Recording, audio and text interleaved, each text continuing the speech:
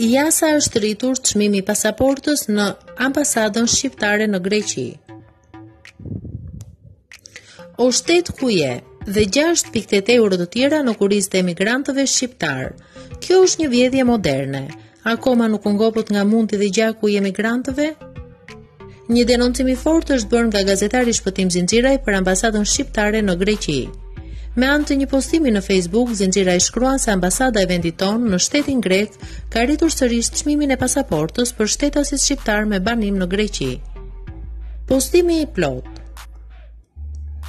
Çmenduria alla shqiptarçe, rritet tarifa e pasaportës në 148.8 euro. O shtet ku je, edhe 6.8 euro të tjera në kurriz të emigrantëve shqiptarë. Kjo është një vjedhje moderne, akoma nuk u ngopët nga mundi dhe gjaku i emigrantëve? Kjo është çmenduria e radhës që u bëhet emigrantëve tanë në Greqi, një çmenduri që vetëm një emër ka, zhvatje apo vjedhje në mes të ditës. Pak kohë më parë emigrantët shqiptarë paguanin 142 euro për pasaportën dhe kartën e identitetit, por ambasada i detyronte emigrantët që t'i derdhnin paratë e rinovimit në bankat greke kundrejt një pagese prej 2.5 euro. Sot vazhdon çmenduria e radhës, po këtë radhë me një tarifë plus. Prej 6.8 euro në kurriz po të emigrantëve me justifikimin se pasaporta do t'ju vijë në shtëpi.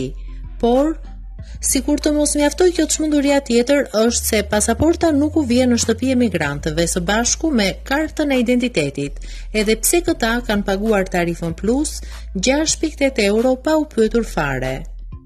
Kartën e identitetit duhet të shkojnë dhe ta marrin në ambasadë, pra ka vend për të marrë kartën, por jo pasaportën. Gjithashtu theksohet se vetëm një e treta e godinës së ambasadës shfrytëzohet, por janë zhvatësit apo banditët që nuk lejojnë menaxhimin sa më të mirë të kësaj situate.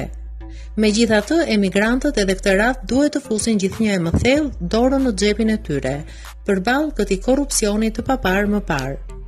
Më e keqja është se heshtin shoqatat,